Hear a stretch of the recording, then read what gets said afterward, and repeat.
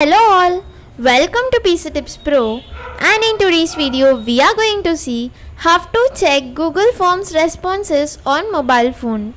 Before getting into the video, if you guys haven't yet subscribed to the PC Tips Pro, please do subscribe and don't forget to hit on the bell icon so that you never miss an update from us.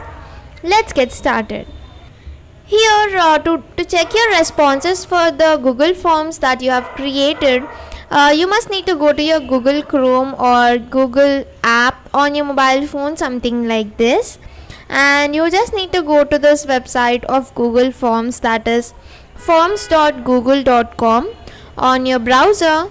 And this could be taking you to this particular page uh, where you'll be just finding all the forms that you have created and you can even just uh, create the form a new form for yourself so if you want to know how you can create a form on your mobile phone and uh, how you can get this responses on your pc have to share this responses on the pc and all uh, you can just refer to the videos that are linked in the description or else you can just find them in the pc tips pro channel.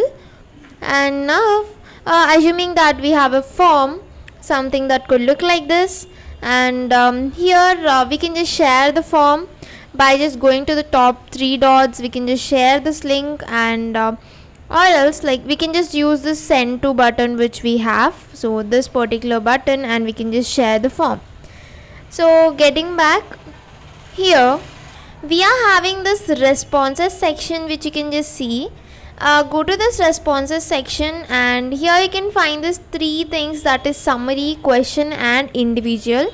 In the summary you can just find all the insights of this multiple choice uh, uh, whatever the responses that you got. You'll this will be having all the insights in the summary part.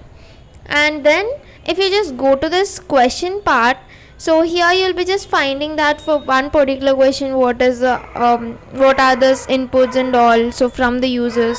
So you can just uh, check the responses with the question like according to the question that you want to check.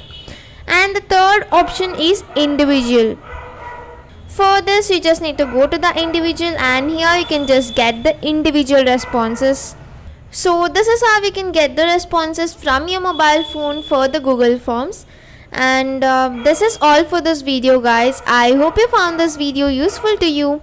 And don't forget to like share and subscribe to pc tips pro. And don't forget to hit on the bell icon so that you never miss an update from us. Thank you for watching